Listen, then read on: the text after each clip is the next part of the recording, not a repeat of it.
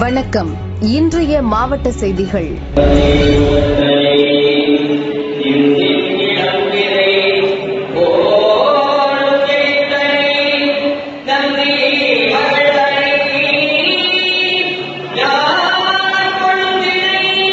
கார்த்திகை மாதம் முதல் சோமவாரத்தையொட்டி தஞ்சை பெரிய கோவிலில் பெருவுடையாருக்கு சிறப்பு அபிஷேகம் நடைபெற்றது.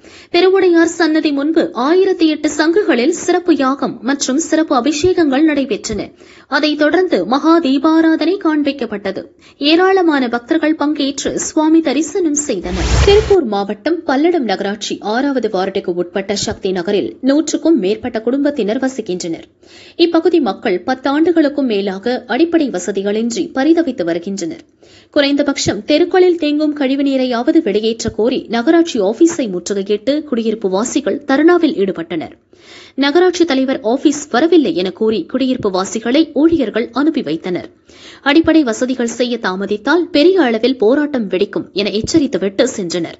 தேர்தல் வாக்குறுதியா கொடுத்திருக்காங்க இதுக்கு முன்னாடி டிச்சு வருதுன்னு தான் வாங்குனாங்க இப்ப டிச்சு வருதுன்னாங்க ஆனா அது அதுக்கான ஸ்டெப் எதுவுமே உங்களுக்கு டிச்சு வருது. வரும்னு சொன்னாங்க. ஃபர்ஸ்ட் டிச்சு தான் நாங்க.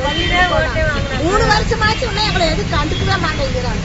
இப்படி ஏமாத்துறாங்க ஏழைகள் இருந்து சரி பண்றது நாங்க நாங்களும் எங்களுக்கு செய்வாங்கிற ஒரு நம்பிக்கையில் தான் நாங்க இது போடுறோம். அப்ப இப்படி பண்ணுனா நாங்க எங்க போய் சொல்றதுன்னு பாருங்க. ஆட்சியிலயும் ஒண்ணும் பண்ணல. இப்ப செஞ்சிருவாங்க நம்பிக்கையில எல்லாம் அவருக்கே ஓட்டு போட்டோம். எல்லாம் சந்தோஷமா ஸ்டாலின் ஐயா வந்தா நமக்கு கிடைக்கும். தண்ணி இருந்தது சாமி. அந்த கிணத்து தண்ணி வேற பக்கம் கொண்டு சொன்னாங்க. இந்த தண்ணி விட்டீங்கன்னா உங்களுக்கு டிச்சு வரும் இல்லாட்டி வராதுன்னா அந்த தண்ணி விட்டுட்டு ஆமா அன்னைக்கு சரின்னு எங்களுக்கு அவங்க எதுவுமே எங்களுக்கு செய்யலையே சாமி ஒரு வேலை ஒரு ஒரு வந்து வந்து பாருங்க எப்படி இருக்குதுன்னு வந்து பாருங்க கடலூர் மாவட்டம் காட்டுமன்னார் கோவில் அருகே உள்ளது வீராணம் ஏரி. இது டெல்டா விவசாயிகளுக்கு வாழ்வாதாரமாகவும் சென்னை குடிநீர் தேவையையும் பூர்த்தி செய்து வருகிறது. இந்த ஆண்டு மேட்டூர் அணையில் போதிய நீர் வராததால் ஏரியில் நீர்மட்டம் குறைந்தது.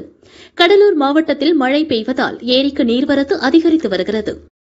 இதனால் நாற்பத்தி ஏழு புள்ளி ஐம்பது அடி நீர்மட்டம் கொண்ட ஏரி நாற்பத்தி ஆறு அடியை எட்டியது. சென்னை தேவைக்கு குடிநீர் அனுப்பப்படுகிறது. தொடர் மழையால் வீராணம் ஏரி முழு கொள்ளளவை எட்டும் என அதிகாரிகள் தெரிவித்தனர்.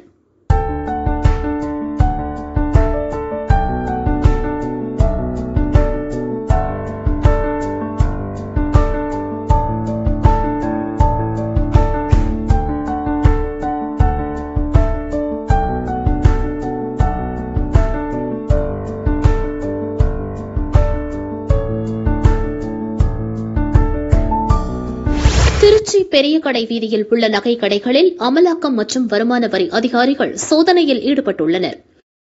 மலேசியா சிங்கப்பூர் துபாய் உள்ளிட்ட பல்வேறு வெளிநாடுகளிலிருந்து விமானம் மூலம் கொண்டுவரப்படும் நகைகளை முறைகேடாக விற்பனை செய்வது சட்டவிரோத பண பரிவர்த்தனை ஜிஎஸ்டி கணக்கு காட்டாமல் நகைகள் விற்பனை செய்வது உள்ளிட்ட புகாரின் அடிப்படையில் சோதனை நடைபெறுவதாக தகவல் வெளியாகியுள்ளது. வாடிக்கையாளர்கள் போல் வந்து நள்ளிரவு முதல் கடைகள் மற்றும் அவர்களுடன் தொடர்பில் உள்ளவர்களிடம் அதிகாரிகள் விசாரணை நடத்தி வருகின்றனர். ஜெயலலிதா இசை மற்றும் கவின்கலை பல்கலை சார்பில் பட்டமளிப்பு விழா சென்னையில் நடைபெற்றது. இதில் பிரபல பின்னணி பாடகி பி. சுசீலாவுக்கு கௌரவ டாக்டர் பட்டத்தை முதல்வர் ஸ்டாலின் அவரது இருக்கைக்கே சென்று வழங்கி கௌரவப்படுத்தினார். விவசாயிகள் மீது போடப்பட்ட வழக்குகள் ரத்து நில ஒருங்கிணைப்பு சட்டம் ரத்து விவசாயிகள் மீது குண்டாஸ் போட்ட போலீசார் மீது நடவடிக்கை எடுக்க இவற்றை வலியுறுத்தி தமிழ்நாடு விவசாயிகள் சங்கத்தினர் சிவகங்கை கலெக்டர் அலுவலகம் முன்பு ஆர்ப்பாட்டத்தில் ஈடுபட்டனர். இதே கோரிக்கையை வலியுறுத்தி காவேரி குண்டாறு வைகை பாசன விவசாயிகள் சங்கத்தினரும் ஆர்ப்பாட்டம் செய்தனர்.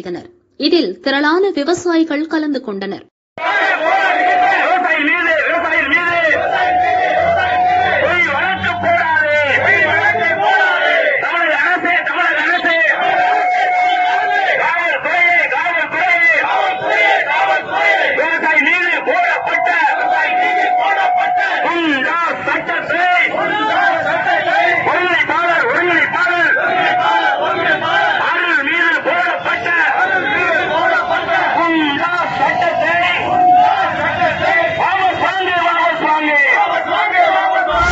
வாங்க மாவட்டம் பொம்மநாயக்கன்பட்டி வேளாண்டி கவுண்டர் வீதியை சேர்ந்தவர் கார்த்திக். வயது முப்பது. மனைவி குழந்தை உள்ளனர். இவர் கோவை மேட்டுப்பாளையத்தில் நடக்கும் மாநகராட்சி குடிநீர் திட்டத்தில் இன்ஜினியராக வேலை பார்த்தார். கார்த்திக் ஊழியர் ஆறுமுகம் ஆகியோர் கோத்தகிரி ரோட்டில் உள்ள பேக்கரியில் டீ குடித்தனர். அதைத் தொடர்ந்து ஆறுமுகம் சிகரெட் புகைத்தார். அங்கு வந்த அப்துல் ரஹ்மான் மற்றும் முகமது சமீர் ஆகியோர் ஆறுமுகத்திடம் இங்கு சிகரெட் பிடிக்கக்கூடாது வெளியே செல்லுங்கள் என மிரட்டினர். தட்டி கேட்ட கார்த்திக் ஆறுமுகம் ஆகியோர் தாக்கப்பட்டனர். அவ்வழியாக போலீசார் ரோந்து சென்றனர்.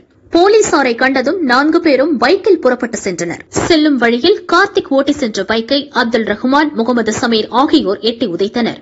இதில் நிலை தடுமாறி கீழே விழுந்த கார்த்திக் ரோட்டோரம் இருந்த ஆட்டுக்கல்லில் மோதி படுகாயமடைந்தார். அவரை மேட்டுப்பாளையம் அரசு ஹாஸ்பிட்டலில் அட்மிட் செய்தனர். அங்கு இறந்தார். மேட்டுப்பாளையம் போலீசார் முகமது சமீர் அப்துல் ரஹ்மானை கைது செய்தனர்.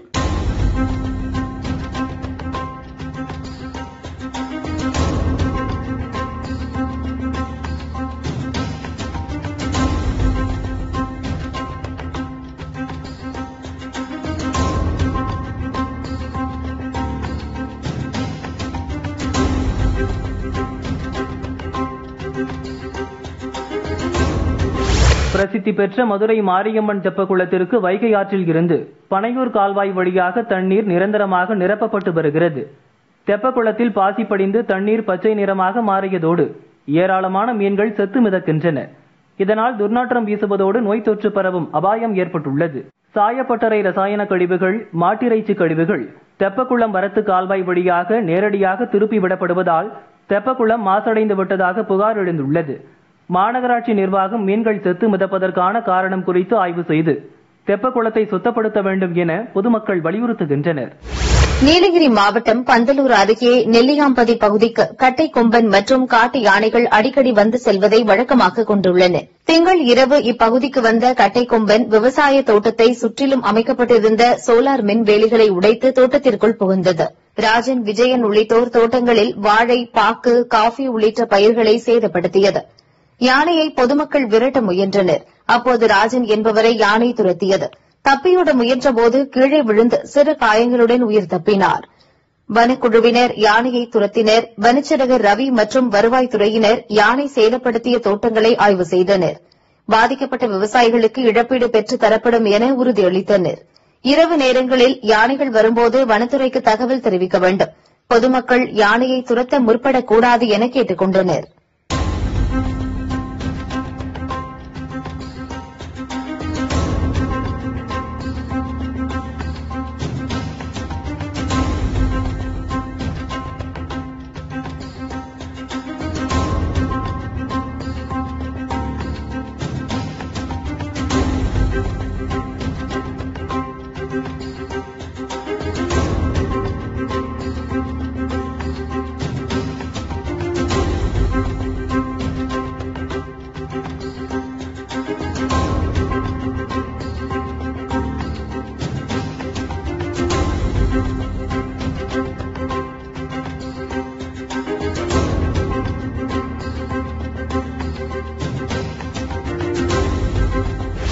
நீலகிரி மாவட்டம் குன்னூர் அருகே உள்ள கொலக்கம்பை அரசு ஆரம்ப சுகாதார நிலையம் நீண்ட காலமாக பராமரிக்காமல் இருந்தது.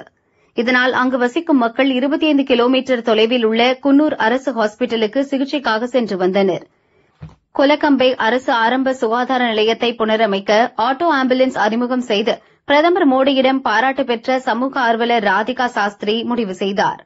இதற்காக தன்னார்வலர் குழுக்களுடன் இணைந்து 85 லட்சம் ரூபாய் மதிப்பில் அரசு ஆரம்ப சுகாதார நிலையத்தை புதுப்பித்தார். சுகாதார நிலையத்துக்கு தேவையான நவீன கருவிகள் மற்றும் மருத்துவ உபகரணங்கள் வாங்கி உயர் சிகிச்சை வார்டுகளாக மாற்றினர். புதுப்பொலிவு பெற்ற அரசு ஆரம்ப சுகாதார நிலையத்தை சுற்றுலா அமைச்சர் ராமச்சந்திரன் கலெக்டர் அருணா துவக்கி வைத்தனர். சுற்றுலா அமைச்சர் ராமச்சந்திரன் பேசுகையில் பழங்குடி கிராமங்கள் உட்பட 57 கிராமங்களில் வசிக்கும் மக்கள் 75000 பேர் இந்த ஆரம்ப சுகாதார நிலையம் மூலம் பயனடைவர். இந்த மகத்தான சேவையை செய்த தன்னார்வலர்கள் பாராட்டுக்குரியவர்கள் என வாழ்த்தினாா்